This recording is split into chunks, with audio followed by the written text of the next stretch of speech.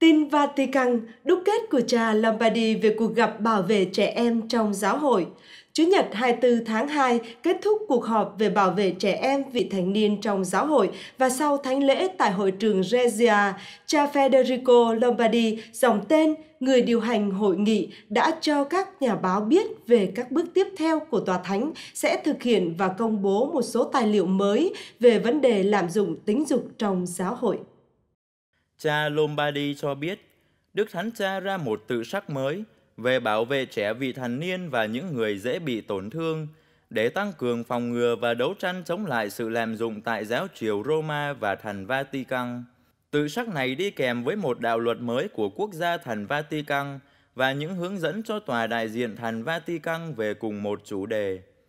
Bộ Giáo lý Đức Tin xuất bản một số tay hướng dẫn giúp các giám mục trên thế giới hiểu rõ bổn phận và nhiệm vụ của họ.